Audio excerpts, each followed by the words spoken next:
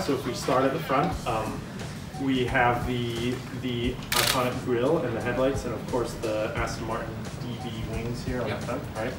Uh, and then you have the rotating number plates. So you have the uh, uh, the three different number plates that you see in the film Goldfinger, and then we also included uh, this one.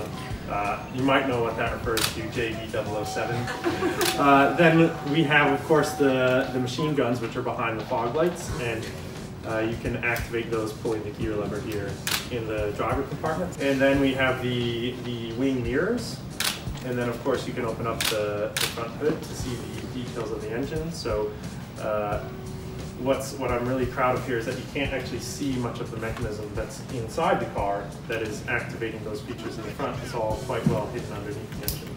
Working back, you have the doors that open.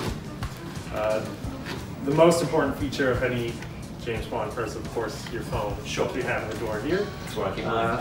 then you have, uh, of course, the driver, the driver seat, passenger seat, and steering wheel.